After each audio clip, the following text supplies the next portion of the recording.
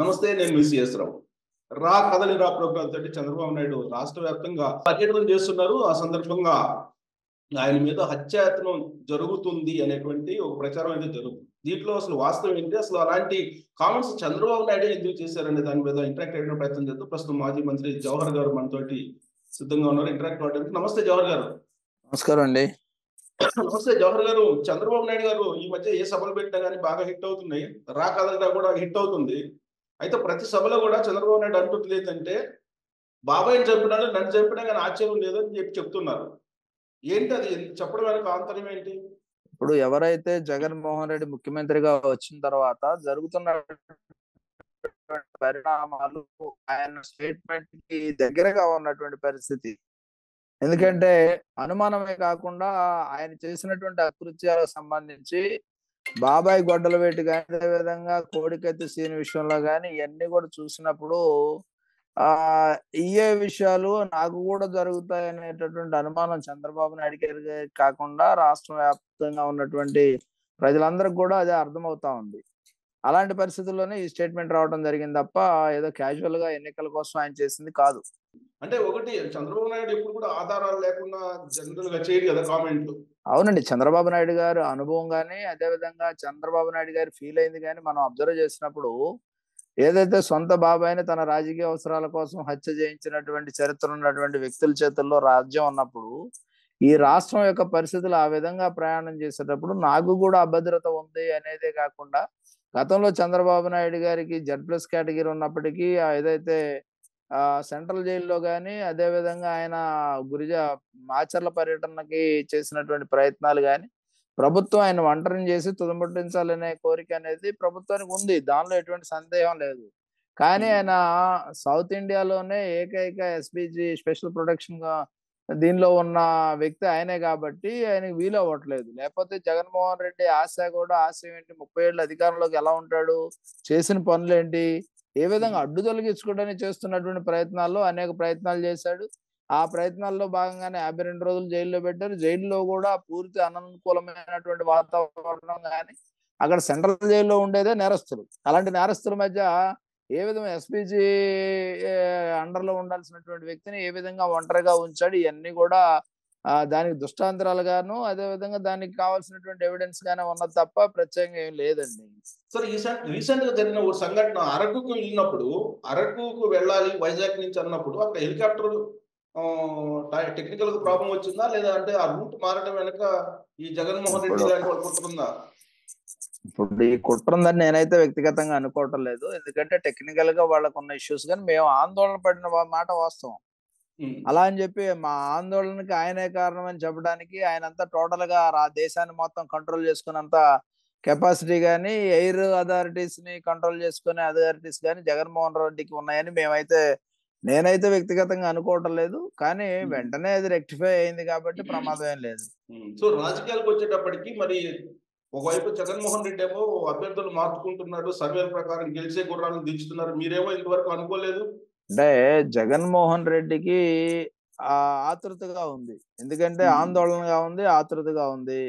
ఆందోళనకు కారణాలు పరిపాలనా వైఫల్యాలు అదే విధంగా వస్తున్నటువంటి వ్యతిరేకతలు ఇవన్నిటిని కూడా దృష్టిలో పెట్టుకొని ఎక్కడైతే క్యాండిడేట్ల వ్యతిరేకత అనుకుంటున్నాడు కానీ ఆయన మీద ఉన్నటువంటి వ్యతిరేకత క్యాండిడేట్ల మీద రుద్దేసి క్యాండిడేట్లు ఏం చేశారని వాళ్ళు మార్చాల్సినటువంటి అవసరం ఉంది. వాళ్ళకి ఏం వ్యతిరేకత ఉందంటే ప్రజల్లో వాళ్ళు తిరగలేకపోతా ఉన్నారు ప్రజలతో సంబంధాలు లేకుండా పోతా ఉన్నారు మొత్తం కూడా వాలంటీర్లే చేసుకుంటున్నటువంటి పరిస్థితుల్లో రాజకీయ నాయకుడి యొక్క ప్రాధాన్యత తగ్గి వీళ్ళది ప్రాధాన్యత పెరిగిన సందర్భంలోనే వాళ్ళ మీద ఓటమి కానీ లేకపోతే జగన్ రెడ్డి వైఫల్యాలు వాళ్ళ మీద రుద్దడం కానీ ట్రాన్స్ఫర్స్ అనేవి బదిలీలు ఎన్నికల ముందు జరిగేటటువంటి బదిలీలు ఉద్యోగ బదిలీలు లాగానే రాజకీయ ప్రజాప్రతినిధులు బదిలీలు చేస్తా ఉన్నాడు.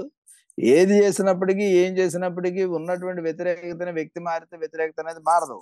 మార్చాల్సింది జగన్మోహన్ రెడ్డి అని ప్రజలు నిర్ణయం తీసుకున్న తర్వాత ఎమ్మెల్యేలు మార్చినంత మాత్రం గెలుస్తారనేది కూడా ఎక్కడా లేదు. దానివల్ల ఏంటంటే అదనపు ప్రయోజనం జగన్మోహన్ రెడ్డి ఒకటే ఉంది ఏంటంటే మీరు గ్రూపులు ఉన్న దగ్గర కానీ వ్యతిరేకించే వాళ్ళ దగ్గర కానీ ఆడు కాదు కదా వాడిని తీసేసి ఇంటి పెట్టాం కాబట్టి వీడి సహకరించండి చెప్పడానికి ఉంటది కానీ కార్యకర్తలు నాయకులు సహకరించవచ్చు కానీ ప్రజలు సహకరిస్తారు కదా.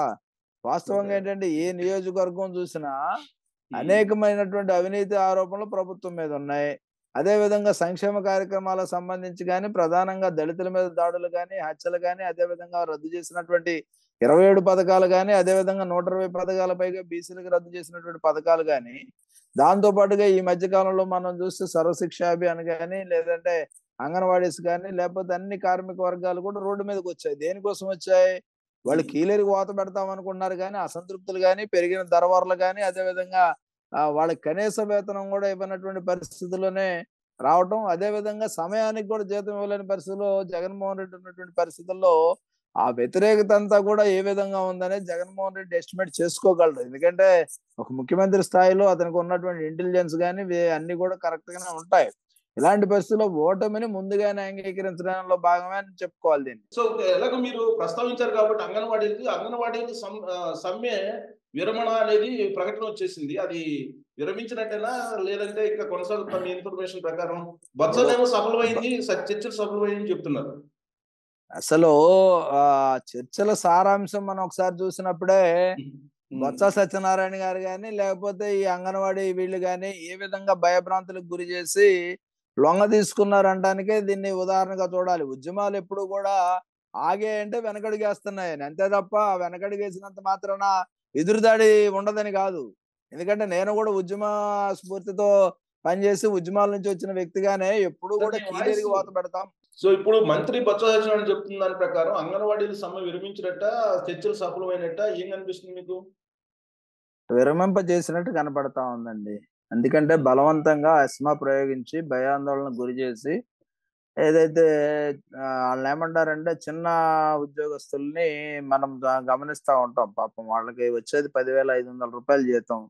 ఏదో కుటుంబాన్ని పోషించుకోవడానికి పనికొస్తుంది అనుకొని అదే విధంగా జగన్మోహన్ రెడ్డి మాటలు నమ్మి ఆయన కోట్లేసిన తర్వాత జీతాలు ఖచ్చితంగా తెలంగాణ కన్నా అదనంగా పెంచుతాడని ఒక నమ్మకం విశ్వాసంతో ఆయన ఓట్లేసి ఆయన అధికారంలో తీసుకొచ్చినటువంటి పరిస్థితుల్లో వాళ్ళందరినీ కూడా ఎస్మా అనే ఒక ప్ర చట్టాన్ని ప్రయోగిస్తున్నాం మీకు ఉద్యోగాలు తీసేస్తున్నామని ఆల్రెడీ నిన్న కృష్ణా జిల్లాలో ఎన్టీఆర్ జిల్లాలో కానీ వీళ్ళందరికీ నోటీసులు ఇచ్చేసి ఎనభై వేల మందిని తొలగించడానికి ఏర్పాట్లు అదే స్థానంలో ఒక ఎనభై వేల మందిని మళ్ళీ రిక్రూట్ చేసుకోవడానికి కూడా అంతా కూడా నోటిఫికేషన్ అంతా రెడీ చేసి వాళ్ళని పూర్తిగా భయాందోళనకు గురి చేసిన తర్వాత సమ్మె విరమించడం జరిగింది. దానిలో ప్రధాన అంశాలు మనం చూసినప్పుడు జూలైలో జీతం పెంచుతాడు జూలైలో వచ్చేది ఎవరు వస్తారు? జూలైలో ఇతను వస్తాడని ఏంటి అసలు ఇతను జాతకం తెలుసా? లేకపోతే ప్రజల నాడి అలా ఉందా? వాస్తవానికి. దూరంగా జగన్మోహన్ రెడ్డి హామీలు ఇవ్వటం ఆ హామీలు నెరవేర్చుకోలేకపోవటం భయంగా నయానో భయానో వాళ్ళని ఒప్పించేసి చేయటం ఇవన్నీ కూడా జరుగుతున్నాయి. సిపిఎస్ వారంలో రద్దు చేస్తానని ఉద్యోగస్తులను నమ్మించి ఉపాధ్యాయ ఉద్యోగ కార్మిక వర్గాలను నమ్మించి అధికారంలోకి వచ్చిన తర్వాత వారం అనేది ఇంతవరకు అవ్వలే. జగన్మోహన్ రెడ్డికి వారం అంటే మరి గతంలో త్రేతాయుగంలోనో లేకపోతే కలియుగంలోనో ఏదో వందేళ్ళకు ఒక ఇది సంవత్సరం లాగా ఏమన్నా వెనకేమన్నా ఉందేమో నాకు తెలియదు కానీ వారం ఇంకా అవ్వలే. ఎందుకంటే సిపిఎస్ రద్దు అనేది నేను ఏదో అనాలోచితంగా ఇచ్చాను అవగాహన లేకుండా ఇచ్చానని స్వయంగా ఒక ముఖ్యమంత్రి స్థాయి వ్యక్తి ప్రకటన చేసిన తర్వాత ఆయన అవగాహన అనేది ఏ విధంగా ఉందో ఆయనకున్న తెలివితేటలను మనం పరీక్షించేటటువంటి పరిస్థితి అయితే లేదు. ఎందుకంటే ఆయన అజ్ఞానని అందరికీ తెలుసు. అనాలోచితంగా ఏదన్నా హామీ ఇస్తాడని చెప్పి అధికారం కోసం ఎవరినైనా చంపుతాడని తెలిసిన తర్వాత దాని గురించి మనం ప్రత్యేకంగా పట్టించుకునే పని అయితే లేదని నేనైతే అనుకుంటా ఉన్నా. సో మొత్తం సమ్మె విచ్ఛిన్నం చేసినట్టేనా? జగన్మోహన్ రెడ్డి అంగన్వాడీల మీద విజయం సాధించినట్టేనా? నూటికి నూరు శాతం. ఎందుకంటే వాళ్ళు అల్పాదాయ వర్గాలు అల్పులు. ఉద్యోగ పరంగా పాపం చిన్న వాళ్ళు. వాళ్ళు వాళ్ళు పోరాటం నలభై రెండు రోజులు సుదీర్ఘ. పోరాటం ఎటువంటి దీనికి లొంగకుండా చేసిన తర్వాత ఎందుకంటే ఎమర్జెన్సీ యాక్ట్ అనేది ఎప్పుడు పెడతాం? అది ఎప్పుడు నలభై రెండు రోజుల. తర్వాత గుర్తురావటం ఏంటి ఆయనకి? దాదాపు వాళ్ళు సమ్మె నోటీస్ ఇచ్చి మొత్తంగా అరవై రోజుల నుంచి వాళ్ళు సమ్మె బాట పడతారనేది ప్రభుత్వానికి ఉన్న సమాచారం. ఆ సమాచారంలో అప్పుడు రాని ఎస్మా ఎందుకంటే ఏమి కనీసం గౌరవం లేకుండా సమ్మె విరమింపు చేసినటువంటి పరిస్థితి చూస్తా ఉంటే ఇక మనం పెద్దగా వాళ్ళ యొక్క ఆదాయాన్ని దృష్టిలో పెట్టుకొని కానీ వాళ్ళ జీవనాన్ని దృష్టిలో పెట్టుకొని కానీ వాళ్ళ తప్పనలేం కానీ జగన్మోహన్ రెడ్డి మాత్రం ఐ హ్యాండెడ్గా బలప్రయోగం ద్వారానే దాన్ని విరమింపు చేశాడని ఖచ్చితంగా మనం చెప్పొచ్చు. ఇప్పుడు ఒకటి జవహర్ గారు ఇప్పుడు చింత ప్రతాప్ రెడ్డి అనేది ఒక అతను ఉన్నారు ఫుడ్ కార్పొరేషన్ చైర్మన్. ఆయన ఏదో ఒక. నివేదిక ఇచ్చి వీళ్ళంతా అవినీతి అక్రమాలకు పాల్పడుతున్నారు. ఆ అక్రమాలను తీసి బ్లాక్ మెయిల్ చేశారు అంగన్వాడీలు అంటున్నారు. అలాంటిది ఏమైనా ఇన్ఫర్మేషన్ ఉందా మీ దగ్గర? ఇప్పుడు ఆ ప్రభాకర్ రెడ్డి ఎవరో సమ్ ఎక్స్ ఉన్నారు. జగన్మోహన్ రెడ్డి. అవినీతి మీద ప్రతాప్ రెడ్డి. జగన్మోహన్ రెడ్డి అవినీతి మీద చేయమనండి. లేకపోతే మంత్రుల అవినీతి మీద చేయమనండి. లేకపోతే ఏదైతే తిరుపతి తిరుమల తిరుపతి దేవస్థానం మీద జరిగేటటువంటి అవినీతి గురించి మాట్లాడమనండి అంతే తప్ప పాపం వీళ్ళు పదివేల ఐదు వందల జీతంలో ఏం అవినీతి చేస్తారండి? ఏం చేస్తారు? పదకొండు వేల ఐదు వాళ్ళకున్న వందలు అటువంటి ఇస్తున్నారు. వెసులు వాళ్ళకున్న వెసులుబాటు ఏంటి? ఇప్పుడు పది పదివేల ఐదు వందలకి ఏం పెంచలేదు కదండి. పదకొండు వేల ఐదు వందలు చేశారుగా ఈ- ఏది అది కూడా జూలై తర్వాత పెంచుతామో లేకపోతే అది ఏంటంటే కేవలం మాటలకే తప్ప ఎక్కడా లేదు. ఎటువంటి కాగితాలు లేవు ఒక అగ్రిమెంట్ లేదు. ఎందుకంటే ఉద్యమాల్లో నేను పది సంవత్సరాలు జిల్లా ప్రెసిడెంట్గా ఉన్న టీచర్స్ యూనియన్లో ఏదైనా జరిగినప్పుడు ఓఎంఈ ఉంటది మెమోరామ అండర్స్టాండింగ్ ఒకటి ఉంటది. ఆ అండర్స్టాండింగ్ కూడా ఏమీ లేకుండా ప్రభుత్వానికి మాకు మధ్య జరిగినటువంటి చర్చల్లో ఈ విధమైనగా రాసుకున్నాం. దీన్ని ఈ విధంగా డేట్ వైజ్ అమలు చేస్తాం. లేకపోతే దానికి ఎంత టైం కావాలని ఒక అగ్రిమెంట్ ఉంటది. ఆ. అగ్రిమెంట్ కూడా ఎక్కడ ఉన్నట్లేదు అర్ధరాత్రి అర్ధరాత్రి వాళ్ళ భయభ్రాంతులకు గురి చేసి నోటీసులు ఇచ్చి తొలగిస్తానికి నోటీసులు రెడీ చేసి వాళ్ళ బదులు ఆల్రెడీ ఆల్టర్నేట్ రెడీ చేసిన సందర్భంలో ఈ రోజు లక్షా ఇరవై వేల మంది పైగా ఉన్నటువంటి అంగన్వాడీ కుటుంబాల యొక్క. పగ లేదా వాళ్ళ ఘోష ఆత్మఘోష వాళ్ళ ఆకలి ఘోష ఖచ్చితంగా ఈ ప్రభుత్వానికి శాపంగానే ఉంటుంది